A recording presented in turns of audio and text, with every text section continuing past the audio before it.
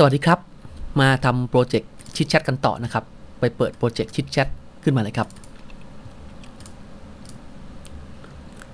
ข่าวที่แล้วเราค้างไว้ถึงตรงที่ตรงไหนนะอ๋อตรงนี้ครับ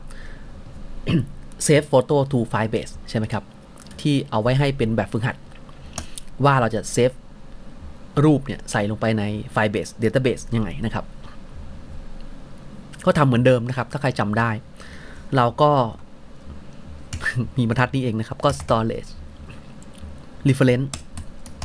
dot put put ตัวนี้ เดี๋ยวหาที่มี completion ด้วยอะตัวนี้แล้วกันนะครับ นี่ครับดับเบิลคลิกเข้าไปนะครับ ก็ส่งตัว user image data เข้าไปนะครับ เพราะว่าเรา ทำให้เป็น Data ละนะครับพอส่งเข้าไปเสร็จเนี่ย Metadata เนี่ยเดี๋ยวผมจะบอกให้อีกทีแล้วกันนะครับคราวที่แล้วเราใช้ก็คือเราส่งเป็น new เข้าไป completion ก็ดับเบิลคลิกพอเสร็จแล้วก็ให้มาทำในโค้ดนี่นะครับตัวแปร first storage metadata เราก็ตั้งชื่อเอา ผมก็ใส่เป็น first storage metadata คล้ายๆเดิมของเขาเลยนะครับ error ก็เป็น error เหมือนเดิมนะแค่นี้นะครับ ในโค้ดเนี่ยเดี๋ยวทิ้งไว้เป็นแบบฝึกหัดแล้วกันนะครับ ว่าเวลาเราทำเสร็จแล้วเนี่ย ถ้ามี error ก็รายงาน error นะครับ ถ้าไม่มี error ก็ให้เซฟลงไปใน user เซฟลงไปใน Firebase database นะครับ เดี๋ยวเอาแค่นี้ให้ดูก่อน แค่นี้มันก็จะ save ตัว image ลงไปแล้วนะครับ ไปลองดูที่เปิด Safari นะครับ แล้วก็ไปที่ firebase.google.com go to console นะครับ แล้วก็ไปที่ Chitchat ของเรา ไปที่ storage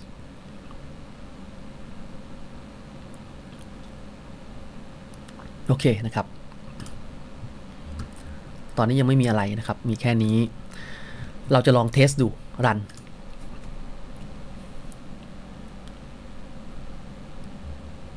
อ้าว เดี๋ยวครับสต็อปก่อน UUID string ตัวนี้เราลืมลบออกนะครับ ที่เราก๊อปไว้วันนั้นเอาลบทิ้งก่อนนะครับ มันไม่ต้องใช้ เราแค่เอามาวางให้ดูแล้วก็เพื่อที่ว่าจะเอามาใส่ไว้ในนี้นะครับ ตอนนี้ลืมมาออกเมื่อวานอารันใหม่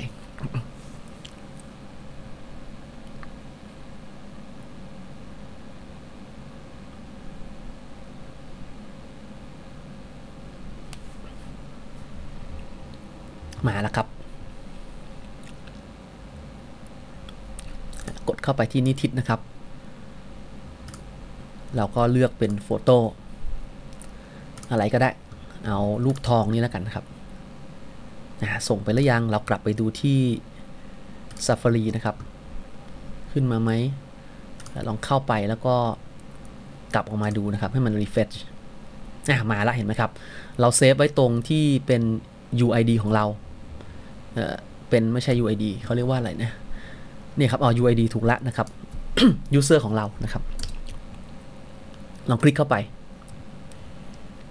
นี่ครับเห็นไหมครับภาพก็จะกำหนด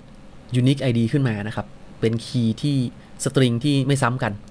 แล้วก็ .jpeg นะกดเข้าไปดูปุ๊บ ก็จะเห็นตัวนี้นะครับ ไปที่ไฟล์ location แล้วก็ลองกดดาวน์โหลด URL นะครับ แล้วไปเปิดหน้าใหม่ paste นะก็จะเป็นรูปที่ นี่ครับที่เราเซฟลงไปโอเคนะครับ อันนี้เป็นอันเดิมที่เคยสอนไปแล้ว คราวนี้เดี๋ยวผมขอขออนุญาตไปลบมันทิ้งก่อน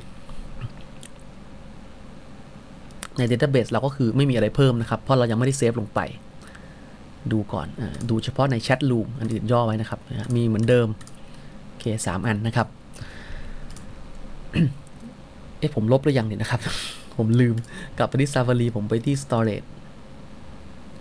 ผมมาออกก่อนนะครับ จะสังเกตเห็นว่าไอตัวภาพที่เราเข้าไปดูในในเนี้ยนะมันจะไม่มีพรีวิวนะครับ คือเราต้องกดเข้าไปดูในไฟล์ location แล้วดาวน์โหลดออกมาเองนะครับคราวนี้ถ้าเราอยากให้มันพรีวิวตรงนี้ได้เลยนะเดี๋ยวผมลบอันนี้ออกก่อนนะครับ คลิกที่มันแล้วก็ delete ทิ้งเลยนะครับนะผมจะอธิบายตัวนี้ให้ฟัง กลับไปที่โปรแกรมเรานะครับ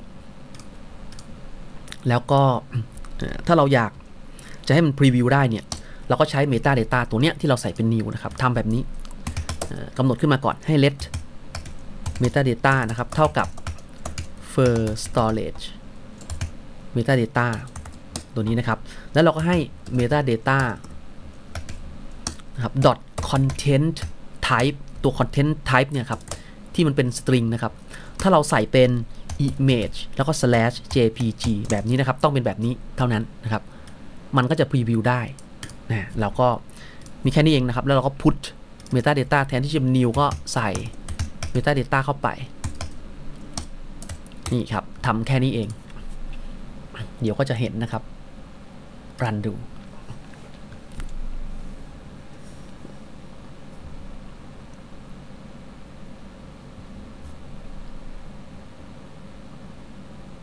กดเข้าไปนะครับ เอาใหม่โฟโต้นะครับ เป็นรูปเดิมแล้วกัน รูปทอง นี่ครับ แล้วกลับไปดูที่ Safari นะครับ ไฟล์เบสเรา refresh ก็ได้ครับ หรือว่าจะเข้าไปไหนๆแล้วก็อัพเอ้ย เอาออกมาก็ได้เหมือนกัน refresh มันนานกว่านะมาเร็ว อืม เอาทำไมเดี้ยงมาซะละเอาใหม่ นะมาแล้วครับ นี่เห็นไหมครับ อยู่ในนี้นะครับ กดเข้าไปดู แล้วก็คลิกไปที่ตัวนี้ ภาพใหม่ของเรา เห็นไหมครับ พอเราใส่คอนเทนต์ type แล้วเนี่ย มันก็จะมีพรีวิวขึ้นมาเห็นไหมครับ ขึ้นมาให้เรียบร้อยนะครับไปกดไฟล์ location ก็เหมือนเดิม นอกนั้นเหมือนเดิมนะครับ กด copy แล้วก็เปิดหน้าใหม่ลองเพจดูก็อันเดิม เพียงแต่ว่าถ้าเราใส่ content type เนี่ย มันจะพรีวิวให้เราได้ด้วยนะครับ โอเคนะครับ วันนี้บอกเรื่องนี้ก่อน ให้ไปฝึกหัดไว้นะครับ ว่าตรงนี้ถ้าเกิด error เเนี่ยเราก็ให้แสดง error ในในนี้นะครับ ถ้าเกิดสำเร็จก็ให้เราไปเซฟข้อมูลลงไปที่ในนี้ใน database เนี่ยครับนะแล้วก็ใส่เพิ่มตัวตัว URL เข้าไปด้วยนะครับ ใส่ลงไปในไฟล์ URL ก็ได้นะครับ ตรงคีย์มัน นะก็ใส่ลิงก์ URL เข้าไป แค่นี้เองนะครับ ลองไปทำดู วันนี้พอแค่นี้ก่อนครับ ดูรายละเอียดเพิ่มเติมได้ที่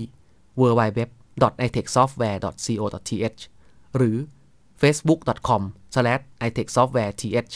หรือเข้าไปที่ Facebook แล้วค้นหาคำว่า itech software ก็ได้